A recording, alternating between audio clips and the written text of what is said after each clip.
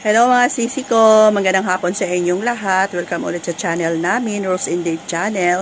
Ayan, so mag-update tayo mga sisi ko sa mga kaganapan dito sa aming sari-sari store. Uh, kunting text lang mga sisi ko sa lagayan ko ng ballpen. Ayan, marami na ulit akong stock kasi nga, di ba kabibili ko lang ng mga school supplies pero ngayon ay unti-unti na rin siyang nauubos. Ito pinakamabenta oh Test Good. Ayan, binta natin ng 15 pesos. Napaka mabenta nito. Dalawang box nilagay ko, dalawa na lang ang uh, natira. So, mamaya ay magre-refill ulit si Ate Rose ninyo. Ayan, so kahapon pala pumunta si Kuya Dave ng palengke, pero hindi na lang ako nag-vlog sa inyo. Ayan, so bumili siya ng bigas kasi yung bigas namin ay uh, paubos na. Tapos mga sisi, ang price ng bigas ngayon ay nagtaas na siya yan, nagtaas na siya konti, pero sana hindi na siya gaanong tataas talaga kasi kawawa naman tayo, 'di ba? So nakabili si Kuya Dave ng anim na sako na bigas. Ayan mga sisi ko. Yan, ito yung nabili niya kahapon. Tapos pinabili ko siya sa palengke ulit ng mga Mobi, uh, itong Mobi, Mobi caramel, Mobi choco, isang ano to, isang transparent bag. Tapos Richie, cheese it, yan, ito dip dip, itong dip dip nga na nasa ano yan.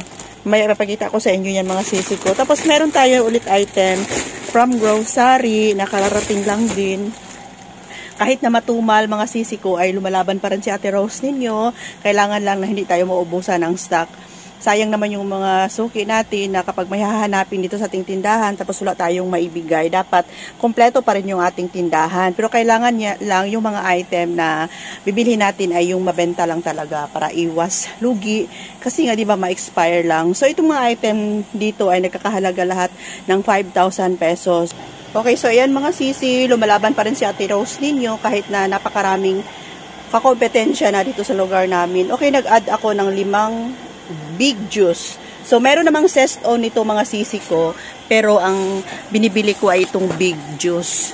Kasi yung sesto, benta ko siya ng 12 pesos, tapos itong big, eh, sesto pa rin naman. So, ito yung binibili ko kasi mas malaki, mas marami siyang laman kaysa Zesto talaga. Ayan, ito na yung kinukuha ko. So, ang mabenta na nito sa amin is apple and orange. Ayan. So, dito sa next box, titingnan natin kung ano yung pa yung mga pinamili natin. Meron tayo dito mga biscuits, mga sisi ko. Tapos magpa-price na lang din tayo. Pita natin is 8 pesos. Kumbi natin is 8 pesos. Cream o natin is uh, ah, 10 pesos na ang benta ko nito mga sisi ko. Tapos meron tayo dito mga pineapple drinks. Ayan. Oh. So, benta ko dito siya is 35 pesos. Tapos, Tatlo pala ang kinuha kong cream o na kulay blue. Kasi may hindi gumagawa dito ng uh, ano yan, cookies and cream na ice cream. Dito siya bumibili.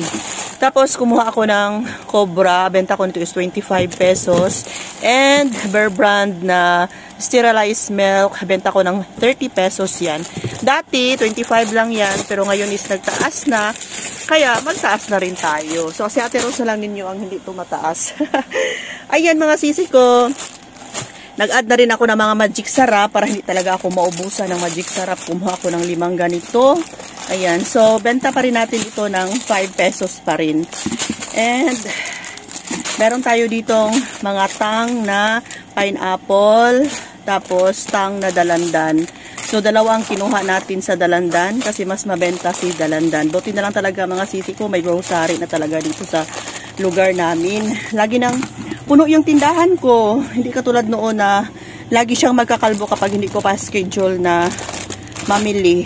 So ngayon may grocery na kung ano lang yung kulang na meron namang stock sa grocery, order ka agad ako. Kasi nga 500 uh, ah, minimum ihatid na Manila. Tapos Bear Brand Swak, nag-add ako ng limang tie ulit. Kasi nga, yung pinakamabenta talaga ng mga item, mga sisi ko, yun yung ginadamihan ko. Ayan, hindi talaga ako manghihinayang yan kasi malabo siyang ma-expire. Tapos, and cheese na nakapack, benta ko na nito ng 20 pesos. Swak pala is 13. Tapos, ayan, kape na ano, twin pack. May free pa naman ito. Benta ko siya ng 15 pesos. Lahat ng mga kape naman, kopi ko man yan, or Nescafe, 15 pesos. May tang tayo na mango and creamy latte creamy white pala. Wala siyang free ngayon. Pero 15 pesos pa rin. So, sa Dutch meal natin na maliit, 15 pesos. Ayan. Tapos, ito, benta natin ng 30 pesos. Tapos, sa ilalim, meron tayong mga sardinas. Ayan. So, ang sardinas dito sa akin, ay benta ko lang siya ng 25 pesos. 22 plus yung puhunan. So, benta ko siya ng uh, 25. Napakaliit lang ng kikitain, pero sige na lang at least kahit papano, mabilis, mabilis naman siyang mabenta. Mabilis na agad siya mairo-rolling natin. Kapag may bumili niyan, uh, ah, 25 lang, babalik sila kasi mas, mas mura. Hindi na kami makapag price dito talaga ng sobra kasi nga maraming kakompetensya, maraming mapupuntahan yung ating mga customer, marami silang mapagpilian pala, marami silang choices. Tapos, cream O, nagad ako ng cream O na ano pa rin siya, yung vanilla flavor, Skyplex, 8 pesos.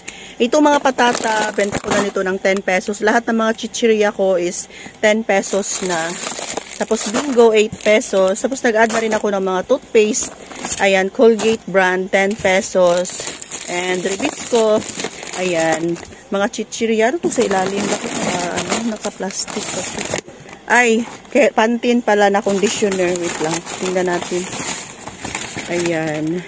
So, kung napansin niyo mga sisi ko, lagi ako nag-unboxing. Siguro MW, MWF akong nagpapadeliver kay grocery. Kasi nga naman, di ba, uh, free delivery, tapos mura lang din yung item nila. Kung ano yung kulang dito sa tindahan, ay order ka agad ako. So, dito sa mga itlog, ayan, ilang tray na lang. So, sa sunod na araw, bili na si Kuya Dave. So, titingnan natin yung mga item dito sa taas. Ayan, meron pa naman ako mga swak ilang type pa to? 1, 2, 3, 4, 5. 5 type pa yan. Pero, nagdagdag ako mga sisi ko kasi napaka mabenta. Wala lang silang stock ng Milo. Ito yung nabili ko sa Gaisano nung last na nag-vlog ako. So, konting flex na lang din sa mga kapi-kapi natin.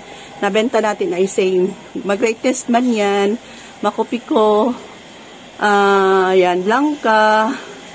Yan. Tapos, itong ano natin, uh, anong tawag yan? Coffee mate na maliit, 3 pesos. Pero ito aking stick, mga CCI4 na talaga ang benta ko. Ayan, may mga kapi-kapi pa tayo. Diyan nakalagay yung bakante na creamy latte na twin pack. So sa ngayon, marami pa namang laman yung tindahan natin. Laban lang po tayo sa araw-araw. Ang mahalaga, may pumapasok, may bumibili pa rin sa tindahan natin. Kahit sabihin natin na marami na tayong kakoperensya. Patuloy lang po talaga ang buhay. Huwag po tayong mag-alala. Nandiyan naman si God nakikita niya kung ano yung mga pangangailangan natin. Thanks for watching mga sisi. Love you all. See you next vlog. Sana hindi kayo magsawa. Bye for now. Bye. Love you. Okay, check natin yung ating mga stock sa mga pansit canton. Ayan, may mga naka-box pa tayo dyan kasi per box yung ibang uh, item na kinakuha ko. Like nito, chicken.